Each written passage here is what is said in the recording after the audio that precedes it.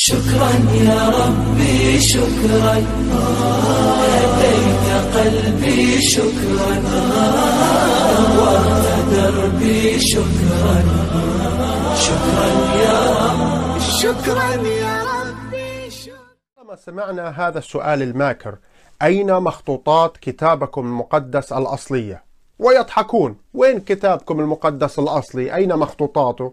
يضحكون جوابنا كمسيحيين على هذا السؤال الساخر الذي طالما أتانا من الأحباء المسلمين يجب أن يكون كالتالي عن طريق قلب الطاولة وهو أنتم المسلمين أنتم من أحرقتم مخطوطات الكتاب المقدس وحولتموها إلى رماد. الحمد لله والصلاة والسلام على رسول الله. السلام عليكم ورحمة الله وبركاته. في البداية أود أن أهنئ إخوتي المسلمين على حلول شهر رمضان المبارك وأعاده الله علينا بخير وصحة وعافية وطاعة. آمين يا رب العالمين. كما شاهدتم جان يونان وكأمثال غيره من المنصرين والملاحدة ما زالوا يستمرون في إلقاء التهم والافتراءات الكاذبة والباطلة على المسلمين والإسلام. ولكن نحن بإذن الله تعالى سنكشف سنكشف زورهم وبهتانهم بالأدلة والبراهين وبأسلوب علمي أكاديمي كما تعودنا دائما. يتهم جان يونان ويلقي افتراء بأن المسلمين هم من أحرقوا مكتبة وبالتالي هم من أحرقوا خطوط الكتاب المقدس أيضا. لكن سنثبت لكم جهل جان يونان بتاريخ كتابه المقدس وبأن مخطوطات كتابه الذي يقدسه أحرقت قبل الإسلام بقرون عديدة فلا يوجد أصول أصلا في وقت الإسلام وإنما أحرقت من قبل الوثنيين من قبل المسيحيين أنفسهم ومن قبل اليهود. بمعنى أن النصارى واليهود بأنفسهم هم من أحرقوا مخطوطاتهم وأيضا كان للوثنيين دورا كبيرا في ضياع وإتلاف وإحراق وتدمير مخطوطات الكتاب المقدس. وإليكم الأدلة على هذا الكلام.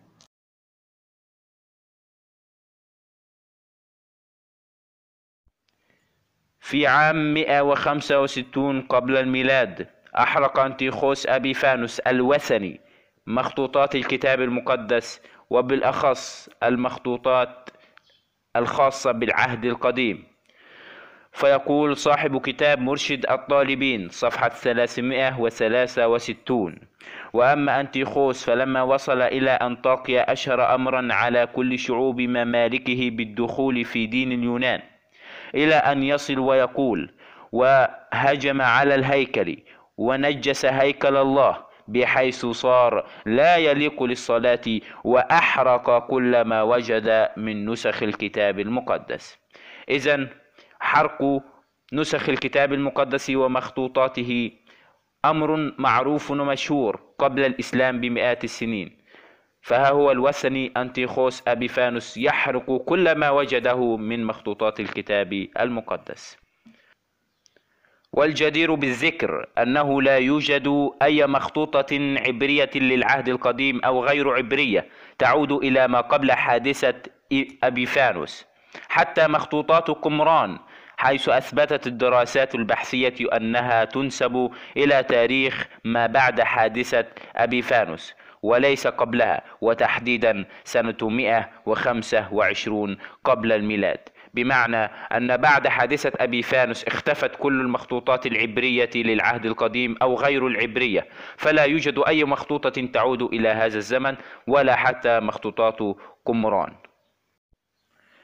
أما مخطوطات العهد الجديد فقد تم تدميرها بأوامر أباطرة الرومان على مر اضطهادات عديدة.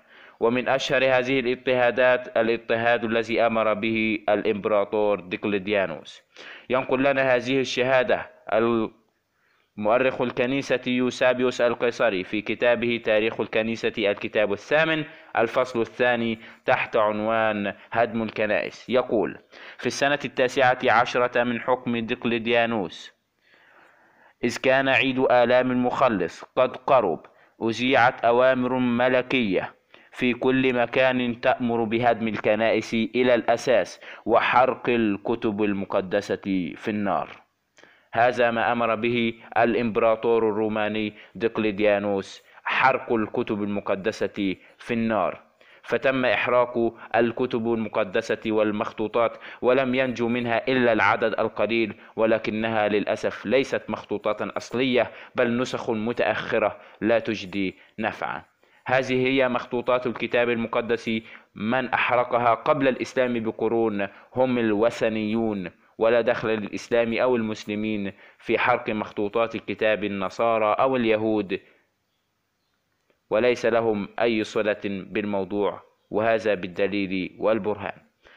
ويقول أيضا مؤرخ الكنيسة يوسابيوس القيصري في نفس المرجع كل هذا تم فينا عندما رأينا بأعيننا بيوت الصلاة تهدم إلى الأساس والأسفار المقدسة الإلهية تلقى في النار وسط الأسواق. نعم لقد تم إحراق الأسفار الإلهية بأوامر من الإمبراطور الوثني الروماني دقلديانوس فهذه هي مخطوطاتكم التي تسألون عنها.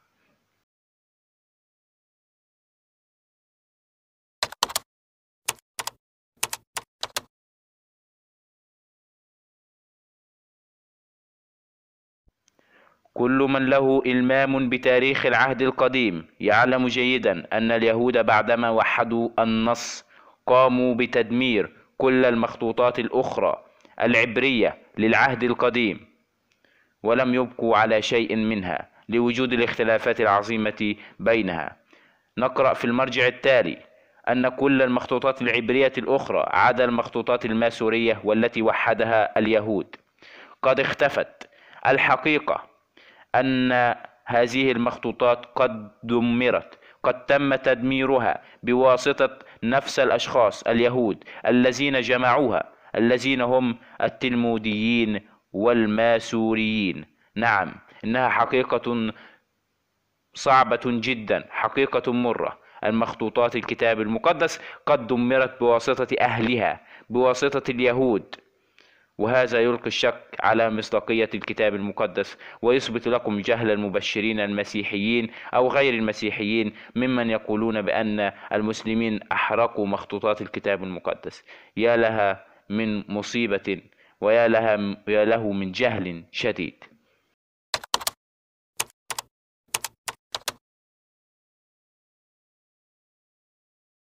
ونقرأ أيضا عن مخطوطات البرديات للعهد الجديد في الموسوعة الكاثوليكية حيث تقول كل مخطوطات البرديات هي مفقودة بالنسبة لنا سواء كانت من أي نوع.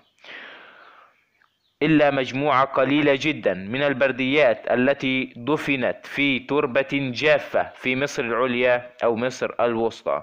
وتكمل الموسوعة وتقول الفلاحون الجهال قد دمروا كميات هائلة وضخمة من مخطوطات البرديات. وتكمل الموسوعة وتقول كلاما هاما جدا. تقول هذه المخطوطات الأصلية this original manuscripts من المحتمل أو تقريبا قد دمرت كلها في نهاية القرن الأول الميلادي أو بداية القرن الثاني الميلادي. نحن لا نجد أي ذكر أو إشارة إلى هذه المخطوطات أي المخطوطات الأصلية عند المدافعين أو الآباء المدافعون عند المدافعين أو الآباء المدافعين الأوائل.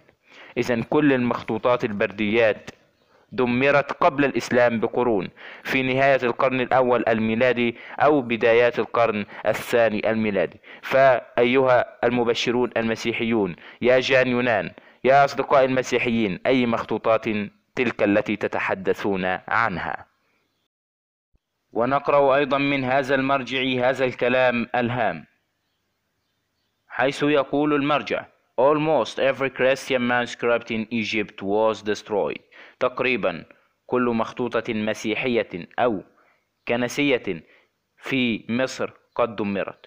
كما ذكرنا كل المخطوطات في القرون الأولى قد دمرت واختفت تماما. لا يعرف لها أي أثر. لا يوجد معنى إلا مخطوطات متأخرة وقد دمرت كما ذكرنا وأثبتنا بالأدلة والبراهين قبل الإسلام بمئات القرون. فكيف يدعي مثل هذا المبشر البائس جون يونان وغيره من المبشرين الجهلة بأن المسلمين هم من دمروا مخطوطاتهم وأحرقوها إن هذا جهل وكذب وافتراء عظيم. لا يوجد لدينا الآن إلا مخطوطات متأخرة كما ذكرنا. أقدم مخطوطة كاملة للعهد الجديد تعود للقرن الرابع الميلادي ولا يوجد مخطوطات كاملة أقدم من ذلك سوى بعض القصاصات التي تعود للقرن الثاني الميلادي. ولعل أقدم قصاصة هي بردية ب 52 وتعود لمنتصف أو أواخر القرن الميلادي الثاني حسب الدراسات العلمية الحديثة.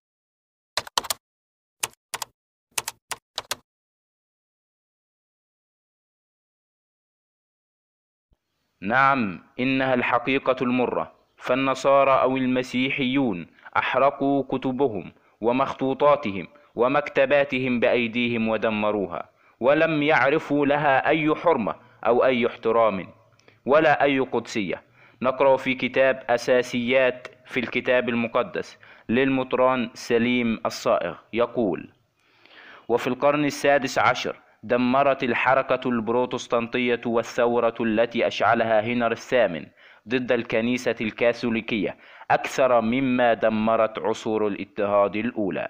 وفي بعض الأماكن كانوا يجمعون المخطوطات والكتب في ساحة المدينة الرئيسية ليحرقونها على اعتبار أنها كتب تخص أتباع البابوات البغيضة.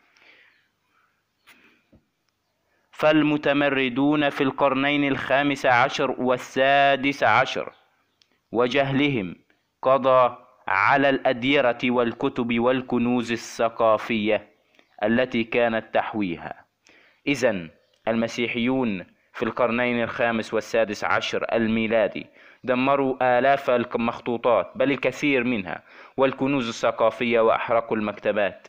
فأي قدسية لكتابكم وأي مخطوطات تسألون عنها يا أيها المسيحيون؟ أي مخطوطات؟ ومن نفس المرجع نقرأ تدمير الكتاب المقدس عمدا. يقول أسوأ من كل هذه الأسباب تدمير الكتاب المقدس عن قصد للحصول على ما في رسومه من ذهب وفضة وحجارة ثمينة. كانت نسخ الكتاب المقدس مليئة بالذهب والفضة والحجارة الكريمة. وكان على بعض المخطوطات في إنجلترا مثلا حوالي عشرين باوند من الذهب الصافي ما عدا الجواهر. فكان الكاثوليك والبروتستانت ينهبون هذه النسخ طمعا فيما تحمله من ذهب وكانوا يدمرونها لئلا يفضح أمرهم.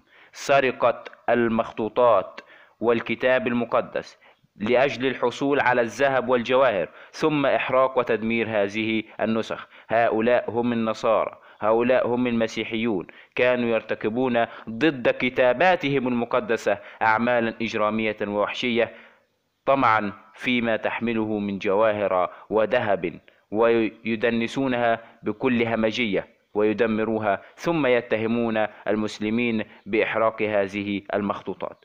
نكمل. عشرات من الأديرة سرقت ونهبت وأحرقت طمعا في ما في مخطوطاتها من ذهب وفضة وحجارة كريمة. ويقول أيضا ولما جاءت حركة الانشقاق البروتستانتية عن الكنيسة تلك التي يسميها البعض حركة الإصلاح في أوروبا جعلت من النهب والتدمير والحرق قرارا ينفذ في كل الأديرة. فكانوا يحرقون كل مخطوطة رسم عليها صليب على اعتبار أنها من الكتب البابوية البغيضة. بينما كان السبب الحقيقي لتدميرها هو الحصول على ما كانت تحتويه من ذهب وفضة. لقد أحرقوا مكتبات بأكملها ونهبوا كتبها ومخطوطاتها لإشعال النار لتدفئة البيوت في فصل الشتاء. نهب وسرقة للمخطوطات وتدميرها. سرقة وتدمير وتدنيس للمخطوطات. إشعال النار في المخطوطات للتدفئة في المنازل. هذه هي مخطوطاتكم أيها المسيحيون. هذا هو مصيرها. أنتم من دمرتموها. أنتم من لا تحترمون مخطوطاتكم. ثم تسألون المسلمين عنها. ويكمل المرجع ويقول وقد كتب المؤرخ كوليسر الأسقف الإنكليكاني قائلا إن نتيجة من أهم نتائج القضاء على الأديرة كان تدمير الكثير الكثير من الكتب. فبدلا من أن يأخذوا الكتب إلى المكتبة الملكية أو إلى مكتبات الكاتدرائيات الكبيرة والجامعات كانت تتلف باعتبار أنها زهيدة الثمن. لقد أثبت هؤلاء الناس أنهم جهلة وأنهم لا يقدرون ما هو قديم. وكان طمعهم كثيرا وكان طمعهم كثيرا وجهلهم أيضا أكبر إلى حد أنهم كانوا يأخذون غلاف الكتاب المذهب والصفحات المذهبة ويحرقون أو يرمون الباقي منه وهكذا دمروا مكتبات كبيرة. وهكذا دمروا مكتبات كبيرة فكان الخراب فادحا جدا. إن هنر الثامن أمر بالقضاء على الأديرة وعلى الحياة الرهبانية وعلى كتبها وكنوزها بحجة أنه يريد أن يعيد تنظيم كل هذه الأمور. أما السبب الحقيقي فكان أنه يريد أن يحول عقيدة الشعب الكاثوليكية إلى عقيدته الجديدة. فكانت هناك هجمة شرسة وشيطانية على الأديرة لتدميرها ونهب كنوزه. هذه هي مسيحية المحبة. هذه هي مسيحية المحبة. كان هنر الثامن يهجم على الكنائس والأديرة وأمر بإحراق الكتب والمخطوطات وتدميرها لتحويل الكنيسة الكاثوليكية والمسيحيين إلى عقيدته. بالسيف بالقوة يريد أن يجبرهم والآن قد أثبتنا أن أصول مخطوطات الكتاب المقدس قد ضاعت وأحرقت قبل الإسلام بمئات السنين. بل إن اليهود كان لهم دور في إحراق مخطوطاتهم بأيديهم. بل إن النصارى حتى بعد الإسلام كانوا يدمرون ويحرقون مخطوطاتهم ويجبرون الطوائف الأخرى بالقوة على اعتناق طائفة معينة. فها هي مخطوطاتكم أنتم المسؤولون عنها. وانتظرونا إن شاء الله تعالى في الحلقة القادمة والتي سنفند فيها أسطورة حرق المسلمين لمكتبة الإسكندرية وسنفجر لكم العديد من المفاجآت وكل ذلك بالأدلة والبراهين وبأسلوب علمي أكاديمي كما تعودنا. إن شاء الله تعالى. السلام عليكم ورحمة الله وبركاته.